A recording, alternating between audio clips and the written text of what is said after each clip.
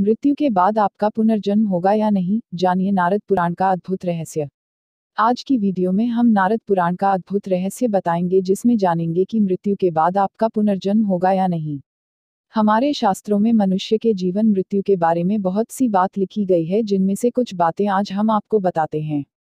शास्त्रों में लिखा गया है कि मनुष्य को कुछ ऐसे कार्य करने चाहिए जिससे उसे दोबारा जन्म नहीं लेना पड़ता है। मनुष्य को अपने जीवन में कभी भी किसी भी पराई स्त्री की ओर बुरी नज़र से नहीं देखना चाहिए तथा हर व्यक्ति को गाय की सेवा करनी चाहिए जिससे वह भगवान विष्णु की कृपा से वैकुंठ लोक में जाता है और जन्म मृत्यु के बंधन से मुक्त हो जाता है।